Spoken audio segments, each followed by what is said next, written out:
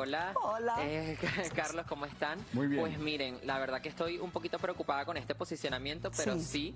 o sea, voy a hablar por lo que yo viví y por lo que yo estuve esas últimas 24 horas en la casa, lo que yo vi.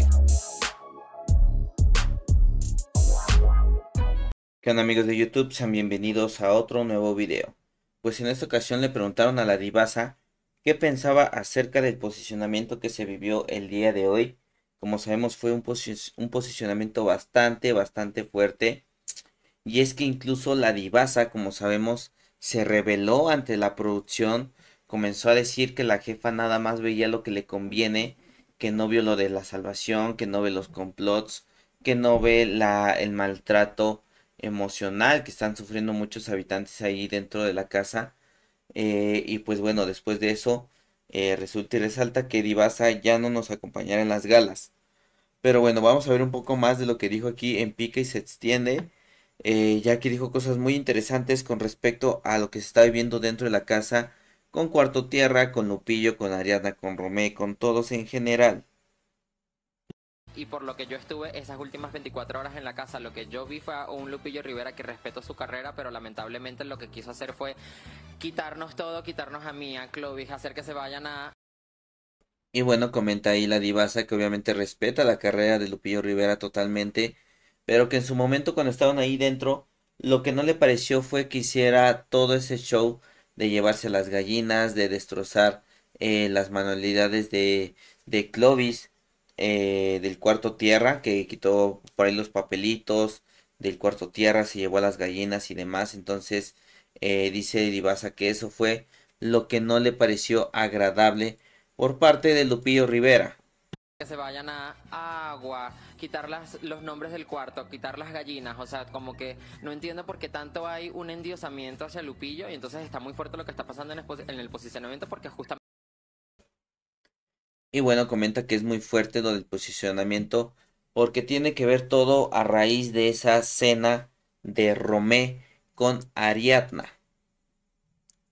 Que justamente esto es lo que se está viendo tanto aquí como en la gala y es como, como muy raro todo lo que está pasando, entonces por eso dije que el maltrato no es nada más físico sino emocional. Totalmente. Y bueno, comentó que todo con lo que está pasando, que no solamente es de que digan maltrato, que, eh, que abarca muchas cosas, no solamente el aspecto físico. Incluso ahí le da la palabra Carlos en esta ocasión. Eso dije que el maltrato no es nada más físico sino emocional. Totalmente. Oye, Divasa, aquí hay algo bien importante, este posicionamiento entre Lupillo y Rome, ¿cómo lo viste tú? Son, son miembros de tu cuarto, aunque Y bueno, ahí menciona que como vio el posicionamiento de Lupillo, Rivera y Romé. agua, yo creo que verlos enfrentarse y tú que eres de ese equipo, me imagino que debe ser muy fuerte para ti. ¿Pensaste lo peor aquí o qué? ¿Qué Y pues bueno, comenta la divasa que obviamente fue un posicionamiento bastante, bastante duro. esto Sí, para mí lamentablemente es muy fuerte ver que las personas con las que yo estaba muy feliz y, y que conecté muy lindo dentro de esta casa durante tres meses estén peleándose de esta manera. La verdad que bueno haber salido de ahí en el momento. Y bueno, dice que él, ella jamás se arrepiente de haber salido de esa casa. Como sabemos, se salió, ya no aguantó más y dice que está más que feliz con esa de- decisión que tomó en aquel momento. Estén peleándose de esta manera. La verdad que bueno haber salido de ahí en el momento. Creo que piensas al ver estoy eso? bien. No, de Aleska, bueno, Náguara, la Aleska, coño, la Aleska ya debió entender, pero qué bueno que no. O sea, Lupi Y bueno, comenta que, que opinaba de Aleska. Como sabemos, eh, se puso ahí en contra de Ariadna. Y dice Divasa que debió entender, pero bueno. Y comenta que le da gusto que Lupillo ahora sí haya confrontado a Romé. Porque cuando ella estaba allí en el cuarto tierra siempre mandaba a los demás a posicionarse. Estoy bien.